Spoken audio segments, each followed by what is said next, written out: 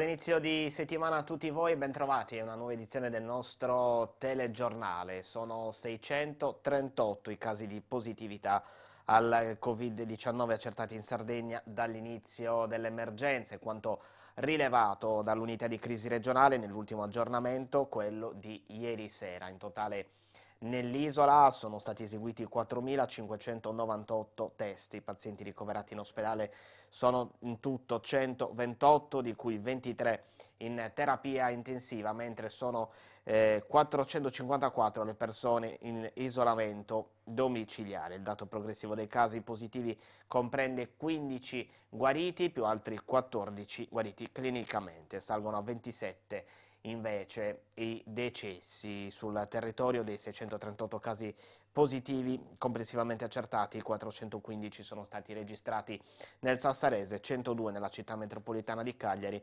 57 a Nuoro, 55 nel sud Sardegna, quindi 9 a Oristano. Nuove misure intanto, le abbiamo viste, le abbiamo sentite nel fine settimana, nel weekend, nuove misure per far fronte alla crisi economica che sta colpendo l'Italia a causa della grave emergenza sanitaria. Sabato il Premier Conte ha parlato eh, di nuovo alla Nazione per comunicare l'erogazione, l'anticipo meglio, di oltre 4 miliardi di euro ai comuni per far fronte alle esigenze delle famiglie indigenti. C'è anche il, da registrare il commento del nostro sindaco Mario Conucci. Il Premier Conte ha parlato di nuovo alla Nazione sabato sera, poco dopo le 18.30, in una conferenza stampa che lo ha visto insieme anche al Ministro all'Economia Roberto Gualtieri, ha illustrato le nuove misure per fronteggiare la grave crisi economica che sta colpendo il Paese di pari passo a quella sanitaria che resta in primo piano. 4,3 miliardi sono stati anticipati agli 8.000 comuni italiani, questo per far fronte al momento difficile per tutto il Paese, ma in particolare per quelle famiglie che hanno necessità urgente. 400 milioni di euro inoltre sono stati stanziati per buoni spese per ciò che concerne l'assistenza in questo senso a chi si trova in condizioni disagiate. Conte ha parlato anche della cassa integrazione ordinaria in deroga entro il 15 aprile e dei 600 euro che spetteranno a professionisti autonomi autonomi. A grandi linee questo ciò che è stato comunicato e sulle decisioni prese dal governo c'è da registrare l'intervento del primo cittadino di Alghero.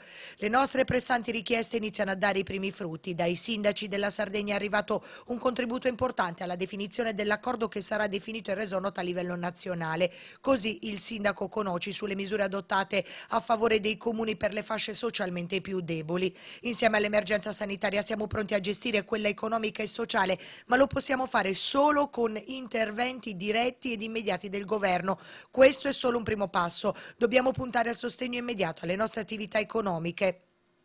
È in corso di definizione infatti in queste ore un importante accordo tra il governo e i comuni attraverso l'ANCI per assicurare l'acquisto di generi alimentari della fascia più povera di popolazione. Sulla base di questo accordo, che sarà formalizzato nei dettagli nelle prossime ore, si legge nella nota, mediante una specifica ordinanza, si potranno finanziare buoni spese e buoni pasto per famiglie indigenti o in condizioni di assoluta necessità. Le risorse finanziarie saranno assicurate dallo Stato e le misure saranno gestite direttamente dai comuni attraverso la rete dei servizi sociali. Nessuno dovrà o potrà rimanere senza pasti e alimenti, precisa il sindaco. Chi fosse in necessità o sapesse di condizioni di bisogno particolari potrà attivarsi contattando i numeri comunali per le emergenze. Un fondo istituzionale per le famiglie in difficoltà ad Alghero, lo propongono i consiglieri comunali di centro-sinistra. Eh, se c'è una cosa che fa sperare nella capacità della nostra comunità di superare questa pandemia, la generosità e la capacità di donare che la nostra città ancora una volta sta dimostrando. Una delle problematiche che tocca particolarmente le corde è l'allarme sociale alle porte, scrivono in una nota Ornella Piras, Raimondo Cacciotto di Futuro Comune, Gabriele Esposito, Mario Bruno, Pietro Sartore di Peralghero, Valdo Di Nolfo di Sinistra in Comune, Mimo Pirisi del PD. Come aiutare le famiglie che rischiano di non sapere come fare a mettere in tavola pranzo e cena o che a breve potrebbero avere difficoltà a pagare la bombola? Il nostro governo sta mettendo in gioco ingenti risorse, a breve vigileremo perché tali esigenze trovino spazio nelle pieghe del bilancio comunale, ma leggendo i social ci si rende conto che i cittadini vogliono dare il loro contributo, forse anche per vincere quella orribile sensazione di impotenza che l'isolamento porta con sé. È un fiorire di proposte di aiuto, di condivisioni di iniziative di solidarietà. Noi per primi come amministratori siamo continuamente interpellati da cittadini che ci chiedono quali siano i canali per poter contribuire, proseguono dal centro-sinistra, chiedendo quindi di attivare un fondo istituzionale affidato a un dirigente con proprio regolamento e conto corrente. Si può fare in fretta per prepararci a fronteggiare l'emergenza e dare la possibilità alla generosità della nostra comunità di trovare un canale trasparente, sicuro e facilmente identificabile, concludono gli esponenti di opposizione. E su Alghero non si conoscono i dati sui contagi, sulle persone assistite in questo momento per l'emergenza eh, coronavirus. Dal centro-sinistra algherese chiedono che la regione li renda noti ed è soprattutto Pietro Sartore di Per Alghero a farlo. Nel fine settimana però con un video il sindaco eh, Mario Conoci ha precisato che i dati ufficiali non sono in possesso del comune ma sulla base eh, delle persone che ricevono assistenza il primo cittadino eh, dice che la situazione è incoraggiante e sotto controllo. Ad oggi ancora non conosciamo i dati comune per comune. Pare che neppure gli amministratori, neppure i sindaci, che sono la massima autorità sanitaria del territorio, li conoscano. La Regione fornisce esclusivamente dei dati aggregati per macroambiti, quindi noi conosciamo i dati della provincia di Sassari ma non sappiamo distinguere tra i dati di Porto Torres, di Sassari stessa, di Olbia, di Alghero. Questo sinceramente secondo noi è sbagliato e può produrre solamente dei danni, nel senso che i cittadini hanno necessità di essere informati per capire se i loro comportamenti, se i loro sacrifici, se il loro senso di responsabilità stia producendo o meno dei risultati in termini di limitazione del contagio.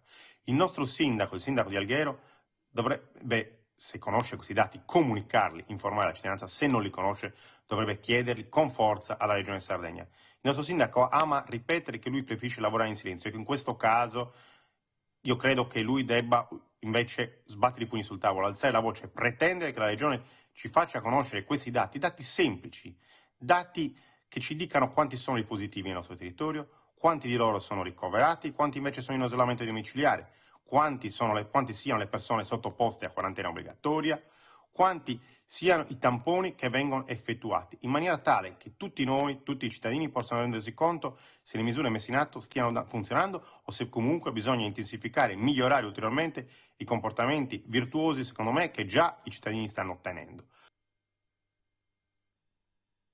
Ecco, io penso che eh, eh, di essere d'accordo con il sindaco di Milano quando dice che questi dati eh, molto spesso servono soprattutto per soddisfare qualche curiosità. Eh, io devo dire che eh, i dati ufficiali non, non, i sindaci non li hanno, eh, abbiamo i dati eh, delle persone che dobbiamo assistere eh, e quindi devono, essere, devono, ricevere un servizio dall'amministrazione comunale eh, questo lo stiamo, lo stiamo facendo. Uh, I dati della nostra città eh, in linea di massima a me ehm, appaiono positivi, eh, ecco, però non abbiamo la titolarità come eh, amministrazioni comunali di, di, eh, di divulgare dati incompleti o dati che comunque non sono precisi. Io penso che sia un momento importante per cui la comunicazione è fondamentale, la comunicazione sui dati dei positivi, dei posti in quarantena aspetta la protezione civile, noi ci atteniamo a questa, eh, a questa direttiva e pensiamo che sia utile eh, per tutti ascoltare ciò che ci viene detto. Ripeto, siamo in un momento emergenziale, siamo in un momento che qualcuno definisce di guerra, noi abbiamo dei compiti e vogliamo svolgere i compiti che ci sono stati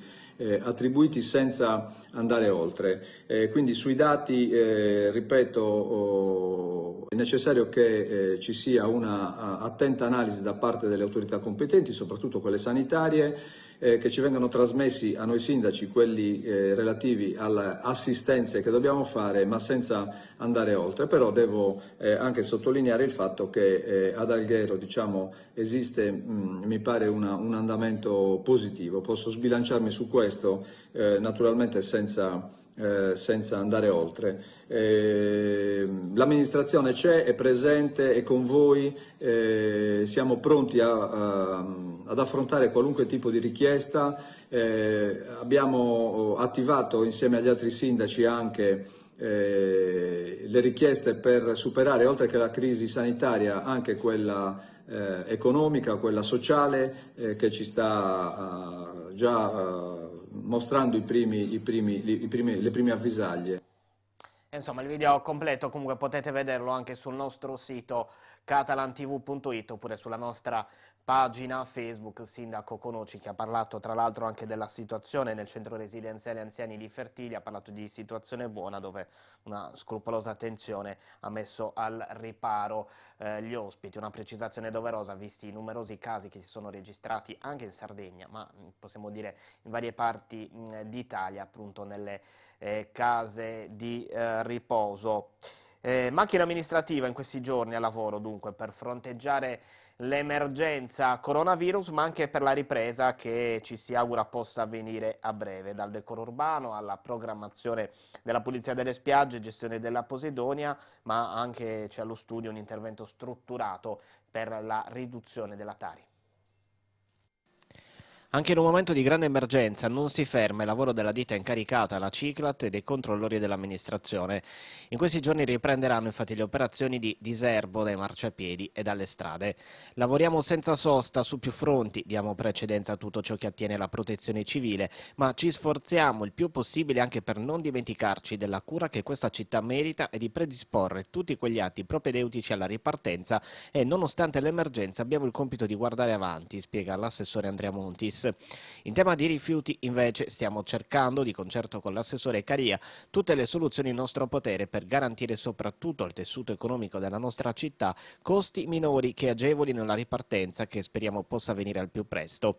Stiamo studiando un intervento strutturato per una riduzione della tari a favore delle attività economiche cittadine che dovrà vedere la luce entro il termine di approvazione delle tariffe per l'anno 2020. In parallelo scriveremo all'ANCI per formulare proposte al governo affinché gli enti enti locali siano nella condizione di applicare agevolazioni e riduzioni tariffarie nel rispetto degli equilibri di bilancio.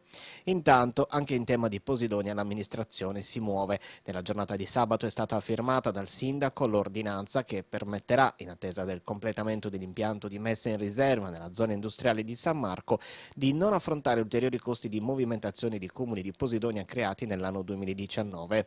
A breve verrà comunicato dove sarà posizionato il nuovo sito di stoccaggio temporaneo temporaneo per la Posidonia che verrà rimossa dalle spiagge secondo contratti già in essere. Non ritengo siano operazioni urgenti e necessarie in questo momento di crisi, conclude l'assessore all'ambiente, ma vogliamo provare a farci trovare pronti. Lo dobbiamo ai nostri operatori che in questo momento soffrono particolarmente questa situazione. Cerchiamo di avere cura dell'oggi, ma con visione futura. Ci fermiamo per qualche istante, a tra poco.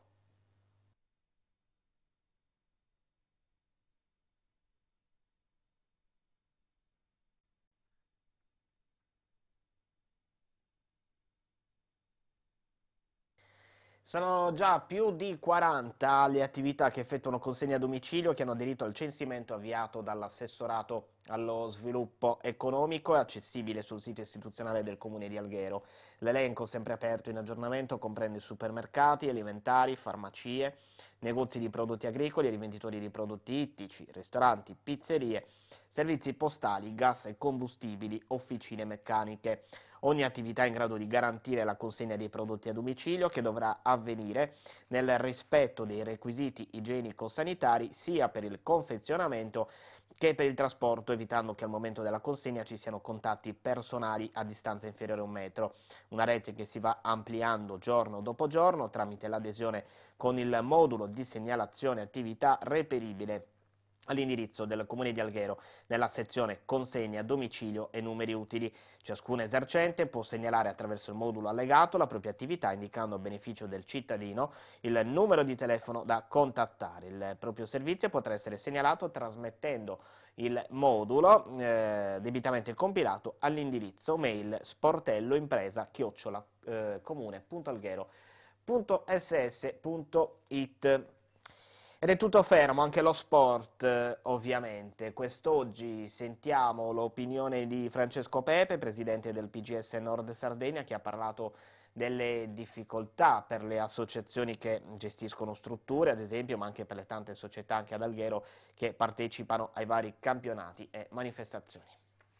tutti i collaboratori di redazione per questo spazio dedicato. Cioè, sappiamo benissimo che l'avvento di questo, ahimè, coronavirus del Covid-19 in Italia ha di fatto, oltre a paralizzare tutta la macchina lavorativa generale con danni irreversibili, ma non siamo qui a parlare di questo chiaramente, ma di fatto parliamo del fatto che ha bloccato totalmente la macchina sportiva nel bel mezzo di una stagione. Sappiamo benissimo che attorno dell'importanza delle associazioni a livello territoriale, ma sappiamo benissimo anche che attorno alle nostre associazioni gravitano un numero impressionante di operatori, allenatori, dirigenti, collaboratori, atleti, praticanti stessi, ma anche gli accompagnatori, tutte persone che eh, gioco forza ah, in, come dire, spendono il loro tempo per far sì che le macchine siano sempre oliate maniera, nella, maniera, nella, miglior maniera possibile.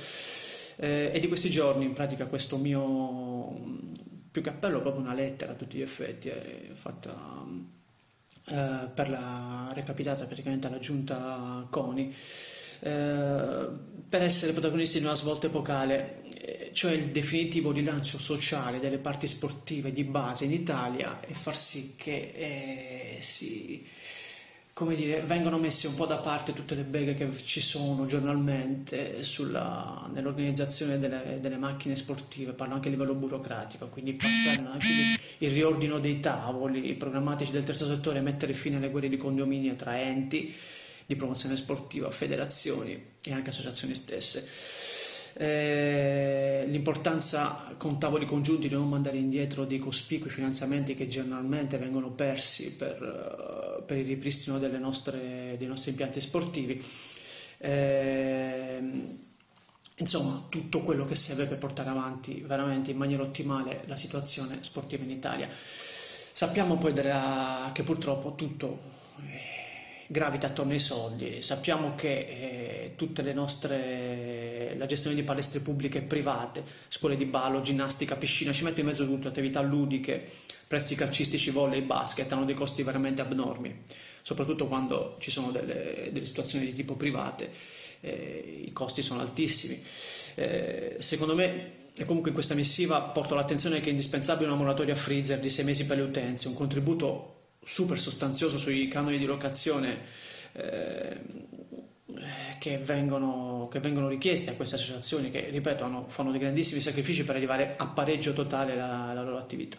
Un sostegno agli istruttori abilitati che sono delle vere eccellenze perché vanno su tavoli formativi veramente molto alti e quindi praticamente l'occasione per non disperdere eh, dire, le opportunità che genera una crisi. Quindi ripensiamo veramente alla, alla macchina lavorativa eh, senza dimenticare anche il sostegno che meritano tutte le associazioni che fanno anche attività di tipo federale, parlo del, del insomma dal Ghero abbiamo tante eccellenze, dal calcio eh, al futsal, ginnastica acrobatica, ritmica, nuoto, eh, quelle che gravitano attorno alle piscine, tutti hanno bisogno in questa fase di un sostegno. Eh, è indispensabile a questo punto veramente un tavolo di consultazione che faccia superare la crisi. E nei prossimi giorni ascolteremo anche altre opinioni sul tema sport e non solo. E in chiusura di TG, anche oggi siamo pronti per mostrarvi le foto che ci avete inviato per la rubrica Alghero resta a casa, insieme ai bambini e ai loro disegni, anche tanti amici a quattro zampe. Per la nostra rubrica Alghero resta a casa, oggi oltre ai vostri bambini anche tanti animali. Loro sono Luna e Stella.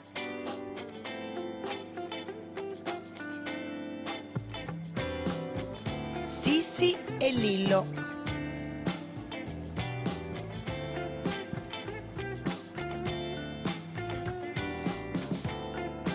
Direttamente da Cagliari, Rampel.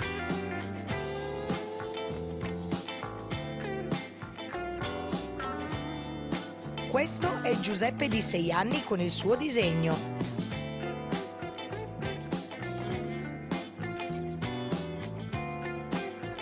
Lui è Zeus e ha 6 anni.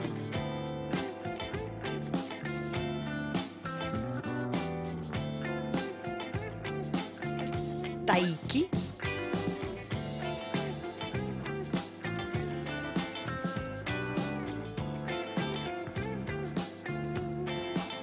Seia con il suo bel disegno.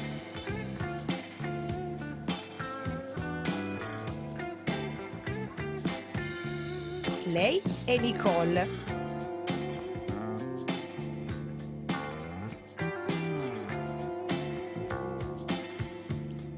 Loro sono Andrea e Aurora, 7 e 3 anni.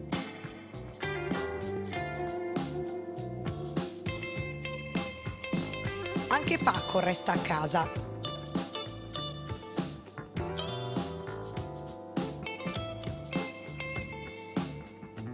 Questa è la piccola Rihanna con il tanto piccolo Teo.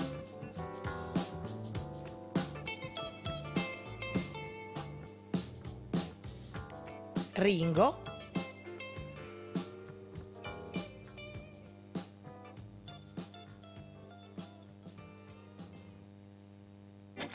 Charlie, molto elegante.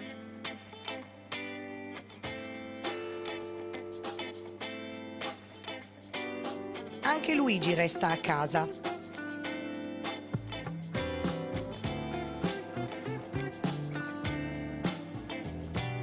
Loro sono Mimi e Melanie, 9 e 8 anni.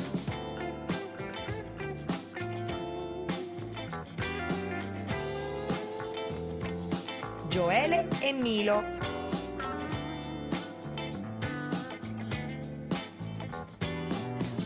Lei è Fatima, di 7 anni.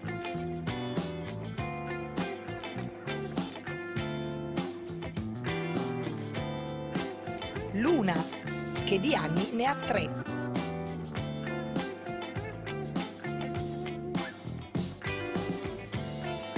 Ed ecco Chiara, di otto anni.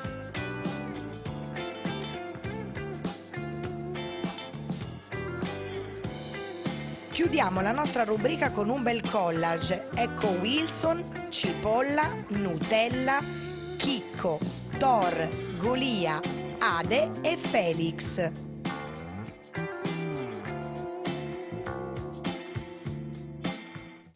Abbiamo ancora tante foto da farvi vedere, vi ricordiamo come sempre potete inviarle al numero WhatsApp 351 137 3747, vi invitiamo ovviamente anche a visitare il nostro sito catalantv.it la nostra pagina Facebook. Per oggi è tutto, grazie per essere stati con noi e arrivederci.